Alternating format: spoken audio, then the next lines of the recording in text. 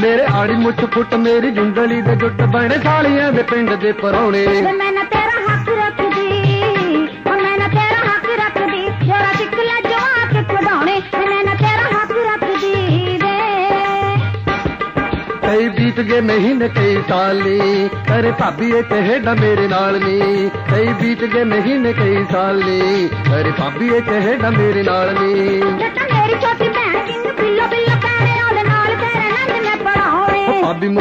ਮੁੱਲ ਮੋੜ ਨਾ ਪਾਉ। ਉਹ ਭਾਬੀ ਮੁੱਲ ਮੋੜ ਨਾ ਪਾਉ। ਮੈਂ ਨਾ ਮੁਫਤ ਜਵਾਕ ਬਰਾਉਣੇ ਉਹ ਭਾਬੀ ਮੁੱਲ ਮੋੜਨਾ ਪਾਉ।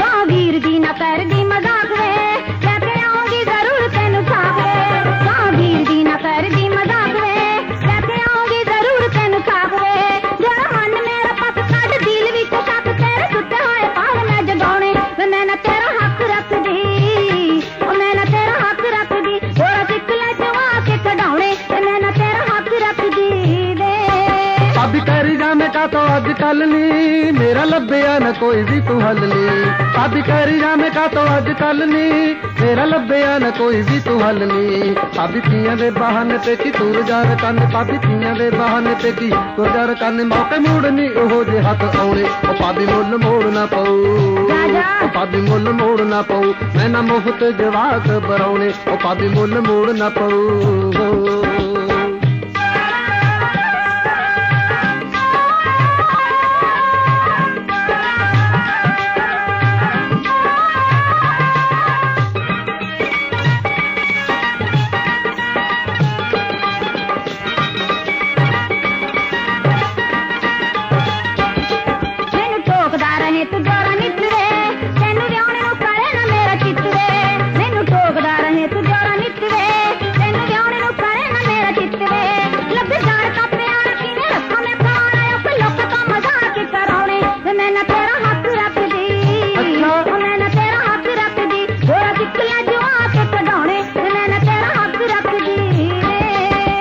ਮਾਜਰੇ ਦਾ ਗਿੱਲ ਮੇਰਾ ਯਾਰ ਨੀ ਮੈਨੂੰ ਕਰਨੇ ਤੇ ਟਿਕਰਾਂ ਹਜ਼ਾਰ ਨੀ।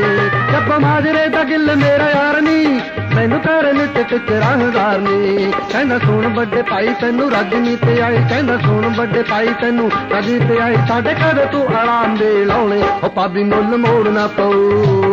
ਉਹ ਪਾਬੀ ਮੁੱਲ ਮੋੜ ਨਾ ਪਊ। ਮੈਂ ਨਾ ਮੁਫਤੀ ਜਵਾਕ ਬਰਾਉਣੇ ਮੈਂ ਨਾ ਤੇਰਾ ਹੱਕ ਰੱਖਦੀ। ਮੈਂ ਨਾ ਮੁਫਤ ਜਵਾਕ ਬਰਾਉਣੇ ਮੈਂ ਨਾ